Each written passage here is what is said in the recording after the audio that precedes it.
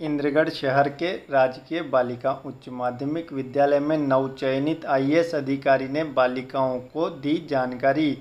इंद्रगढ़ शहर के राजकीय बालिका उच्च माध्यमिक विद्यालय में रूबरू कार्यक्रम के तहत आज 21 जुलाई शुक्रवार को नवचयनित आईएएस अधिकारी अंकित जैन द्वारा नव, नवाचार कार्यक्रम, रूबरू कार्यक्रम में अंकित जैन ने शिरकत की। अंकित जैन 2022 व 23 के बैच में चयनित आईएएस अधिकारी हैं और बूंदी ज़िले में स्थित जरकोदा ग्राम में रहने वाले हैं। बालिका विद्यालय इंद्रगढ़ में बालिकाओं के भविष्य निर्माण के उद्देश्य से 2022 से रूबरू कार्यक्रम का संचालन किया गया था, जिसका आयोजन लगभग हर पंद्रह दिन में किया जाता है।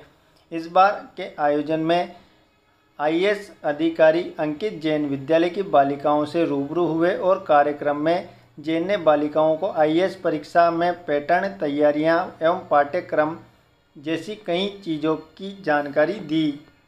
बालिकाओं को न केवल आईएएस, अपितु अन्य प्रतियोगिता परीक्षाओं के बारे में भी जानकारी प्रदान की। बालिकाओं को शिक्षा एवं आजीविका के संबंध में समझाते हुए सम्मानपूर्वक जीवन जीने के लिए प्रेरित किया।